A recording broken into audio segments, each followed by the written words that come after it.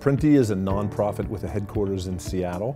Our focus is on registered apprenticeship and especially with people of color, veterans, and women, people that have a hard time getting into the career fields in technology. Diversity and inclusion is a huge part of what we do. The United States, and Ohio in particular, has a big problem.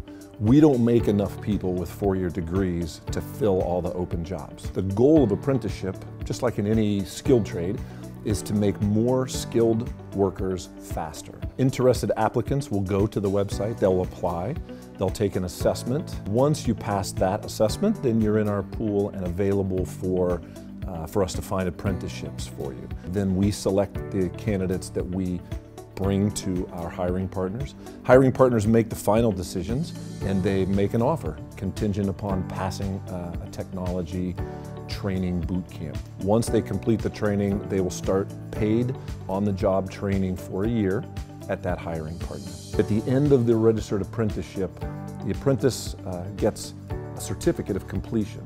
And our hope is that that certificate of completion is equal in skill level, for example, to a four-year college degree. We've got some folks in our first cohort um, that really showed their appreciation strongly for that change we made in their life. And it, for us, that's, that's why we do what we do. It's, it's amazing.